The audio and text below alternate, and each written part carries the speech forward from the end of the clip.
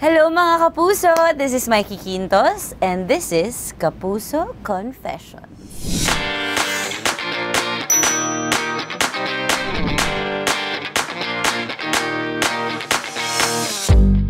Tatlo agad yung pumasok sa isip ko.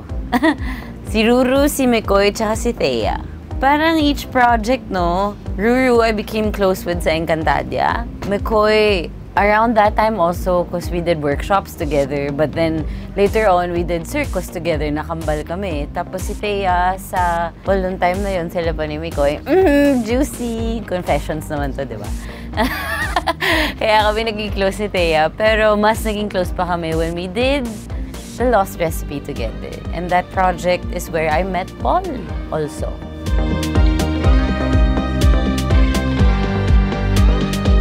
Sa lahat ng teleseryeng nagawa ko, ang Encantadia syempre ang hindi ko pinaka makakalimutan dahil it changed my life. It was my very first project. Lira, yung doon ko natutunan magbasa ng breakdown, doon ko natutunan kung ano feeling maging artista for the first, as in first taping day ko was on the set of Encantadia. It was a, parang, it was a starting point of my whole life today. Yeah.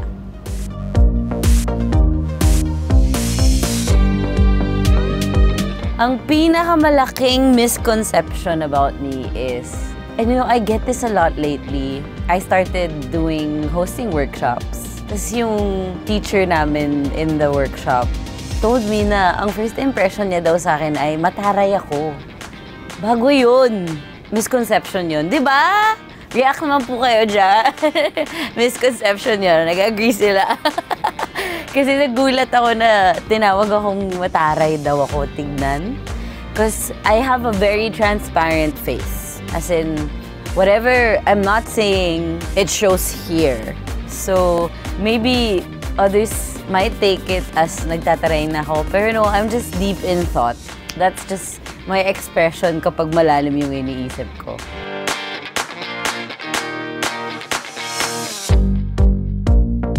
Sa lahat ng co-stars ko sa Encantadia, pinaka-bumilib ako sa acting skills ay kay Ate Glyza de Castro.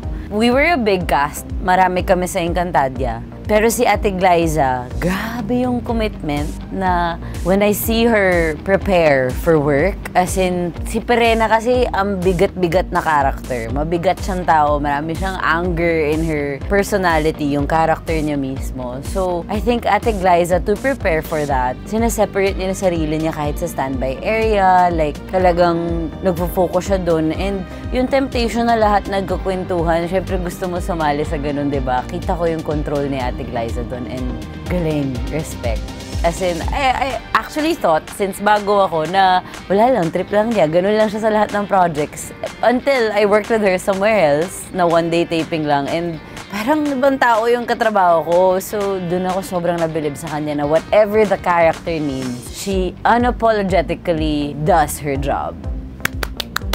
Idol ko siya doon. Honestly, isa yun sa mga naging staples ko na parang, I wanna be like that. I wanna work like that. Ganun.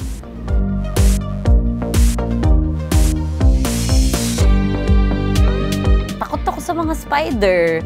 Dahil dami nilang paa at mata. Ayoko ng spider. Doon ako takot. Literal.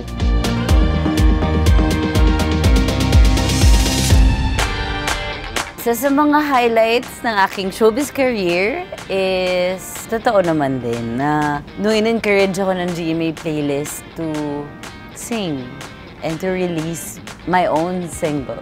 Just Enough was the start of confidence that I think I never would have found kung hindi ako nag-umpisang maging matapang kumanta in public. And yeah, highlight yun. Kasi yung build-up din doon to get there was really hard for me personally. Hard cause mental battle. Parang you fight your own insecurities, you fight your own doubts sa sarili mo. And doing that single with GMA Playlist, parang kung may award ka, may trophy ka, di ba? And yung first single na yon, yung parang trophy ng pag-build up ng confidence na yon. Yeah. For more exclusive content of your favorite Kapuso stars and shows, just visit gmanetwork.com.